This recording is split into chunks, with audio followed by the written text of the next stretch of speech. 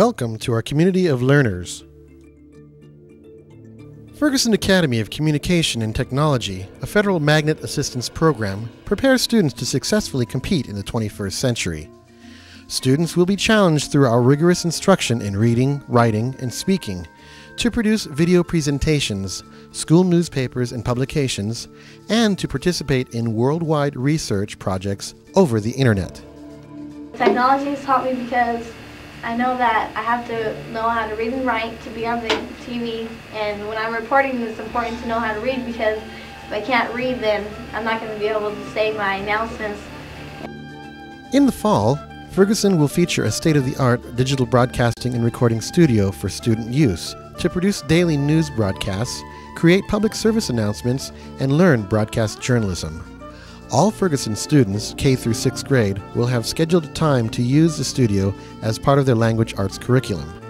5th and 6th grade students will have the special opportunity of running the studio and assisting the production of videos for students from the lower grades.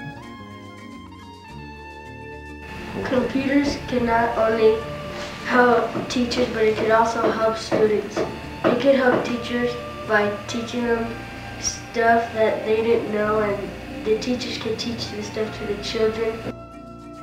In addition to the video studio, FACT students will spend part of their school year producing student publications such as community, school-wide, or grade-level newspapers.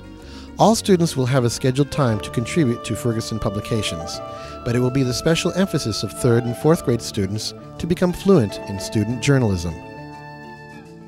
Having more computers in the classroom will help with our reading and writing because the students could get on the computers and write letters to friends around the world.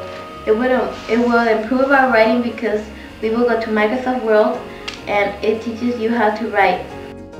Other areas of emphasis will be student participation in worldwide research projects over the internet or global learning projects, and exploring cultural arts.